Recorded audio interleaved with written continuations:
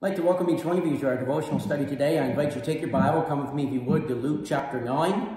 Luke chapter 9, we are going to begin at verse 27. And uh, the next few verses is all about the glory of Christ as we look at the transfiguration of the Lord Jesus Christ. We'll probably be a couple of days looking at this transfiguration. But as you're turning to Luke 9, 27, let me remind you like our lives are all about bringing glory to the Lord Jesus Christ. Uh, you know, bringing glory to God. So often we mistakenly make life about us. And friends, life is not about us. Life is not about what we want. Life is about letting your light so shine before men that they may see your good works and glorify your Father, which is in heaven. When people see you and the things that you do, they ought to understand it's not you, it is the God within you that works to will and to do of his good pleasure. Luke chapter 9, I want to read verses 27 through 36. Jesus says, But I tell you of a truth, there be some standing here which shall not taste of death till they see the kingdom of God. It shall come to pass, and it came to pass rather, about and eight days after these sayings, he took Peter and John and James and went up into a mountain to pray. And as he prayed, the fashion of his countenance was altered, and his raiment was white and glistening. And behold, there talked with him two men, which were Moses and Elias, who appeared in glory and spake of his decease, which he should accomplish at Jerusalem. But Peter and they that were with him were heavy with sleep. And when they were awake, they saw his glory, and the two men that stood with him. And it came to pass, as they departed from him, Peter said unto Jesus, Master, it is good for us to be here. Let us make three tabernacles, one for thee, and one for Moses, and one for Elias, not knowing what he said. While he had thus spake, there came a cloud and overshadowed them, and they appeared, they appeared as they entered into the cloud. And there came a voice out of the cloud saying, This is my beloved Son, hear him. And when the voice was past, Jesus was found alone. And they kept it close and told no man in those days any of those things which they had seen. So as we come into this today, we are looking at the transfiguration of the Lord Jesus Christ. And as we do so, I encourage you to read uh, the verses in the other Gospels that have to deal with the transfiguration of the Lord Jesus Christ as well. You not only find it here in Luke 9, verses 27 through 36, but you will also find it in Matthew chapter 17, verses 1 through 9. Mark also records it for us in Mark chapter 9, verses 1 through 10. And as we come into these verses, we see that Christ was transfigured before them. Now, that phrase is not used here, but if you go back to Matthew chapter 17, you'll find this in verse 2. It says, And was transfigured before them, and his face did shine as the sun, and his raiment was white as the light. That word transfigured literally means a change of form or appearance.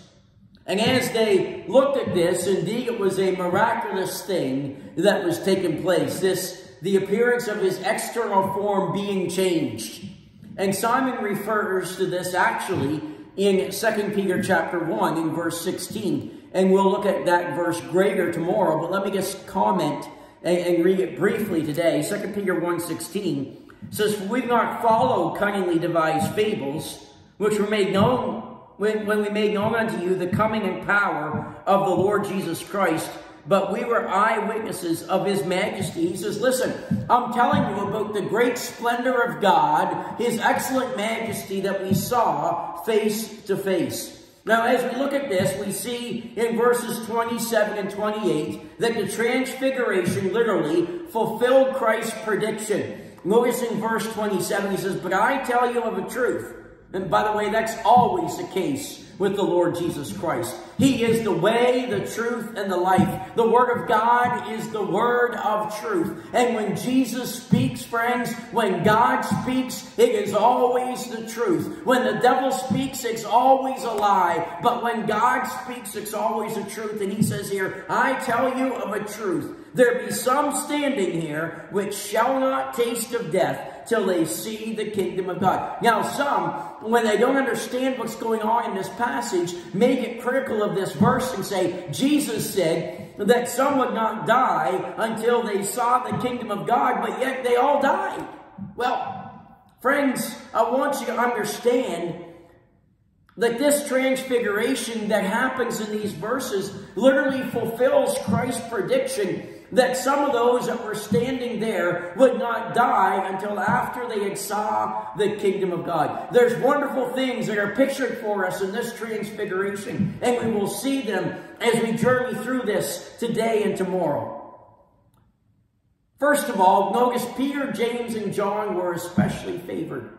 Out of all the 12 disciples, the 12 apostles, they were the only three that got to see this. But notice, even at that, the Bible tells us in Luke 9, 28, it says, it came to pass after eight days after these things, he took uh, Peter and James and John, went up into a mountain to pray. And, friends, it's wonderful to study the, pray, the prayers of the Lord Jesus Christ and the time that he spent in prayer. And let me remind you, if prayer was a priority in the life of the Lord Jesus Christ, how much more does it need to be a priority in our lives as the people of God? But he went up into a mountain to pray. Verse 29, And as he prayed, the fashion of his countenance was altered, and his raiment was white and glistening. What an opportunity, what an experience this was for Peter and James and John. They had never experienced anything like this in their life,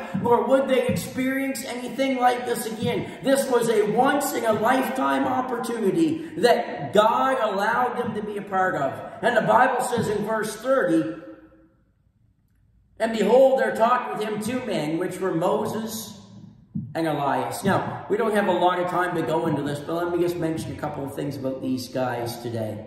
First of all, Moses had been buried by the hand of God. Remember back in Deuteronomy chapter 34? We find this out. Moses had been buried by the hand of God. Deuteronomy 34 verses 5 and 6. So Moses, I like this, the servant of the Lord died there in the land of Moab according to the word of the Lord. And he buried him in a valley in the land of Moab over against Bethpeor, but no man knoweth of his sepulchre unto this day. So Moses was buried after he died by the hand of God. Elijah, on the other hand, was taken up in a whirlwind after his death. In 2 Kings chapter 2, you can see that there. 2 Kings chapter 2 and in verse 11. It says, it came to pass as they went on and talked, that behold, there appeared a chariot of fire and horses of fire and parted them asunder. And Elijah went up by a whirlwind into heaven. So as we think about the death experience of Moses and Elijah, now we see them back here and they are with the Lord Jesus Christ on the Mount of Transfiguration.